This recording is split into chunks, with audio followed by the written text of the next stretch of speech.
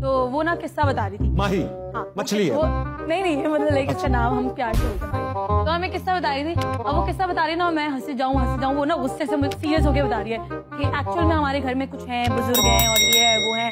अगर उनको छेड़ो नहीं तो वो कुछ नहीं करते और वैसे ना मैं हंसे जाऊँ हंसे जाऊँ हंसे जाऊँ। तो मैंने बोला अच्छा अब मैंने बुरी हरकत की। मैंने बोला अब यहाँ पर कोई अगर है इस तरह की कोई मखलूक तो ना कोई निशानी दिखाओ। मैंने बोला जो भी बाबा है शाबा है जो भी है मखलूक कोई भी है मुझे निशानी दिखाओ। निशानी चाहिए। और अल्लाह की कसम हम लोग जिस बेड पे बैठे हुए थे हम तीनों पीछे एक विंडो थी।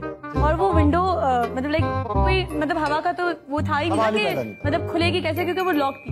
वो अचानक दौड़ दौड़ दौड़ दौड़ दौड़ खिड़की बजी है और मैं यूँ ही हो गई और मुझे कोई दुआ याद ही नहीं मैंने बोला अस्सलाम वालेकुम अस्सलाम वालेकुम अस्सलाम वालेकुम दुआ याद ही नहीं मैंने बोला अस्सलाम वालेकुम अस्सलाम वालेकुम अस्सलाम वालेकुम। Women.